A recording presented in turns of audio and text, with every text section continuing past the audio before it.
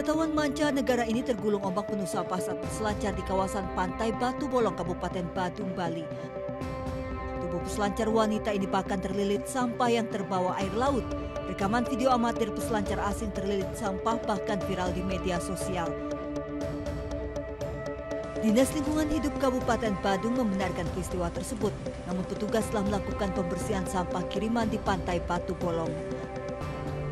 Meski bertonton sampah telah terangkut, namun setiap harinya sampah kiriman tetap banyak didominasi ranting pohon dan kayu gelondongan. Kondisi ini merupakan fenomena musiman. Kejadian di Batu Bolong, memang benar. Artinya sampah itu waktu itu kan masih baru permulaan, itu masih sampah lokalan lah, sampah sungai-sungai di lo, sampah lokalan.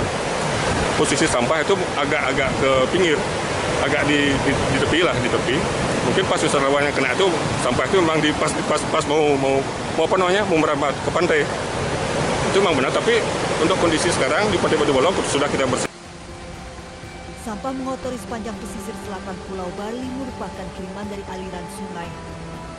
Sebaran sampah kiriman tergantung dari kondisi angin dan arus laut termasuk dipengaruhi faktor hujan di hulu dan banjir di hilir yang membawa sampah ke laut. Empat hari terakhir, sebaran sampah kiriman terus bertambah mengotori sepanjang kawasan pantai Kuta, Legian, hingga Seminyak.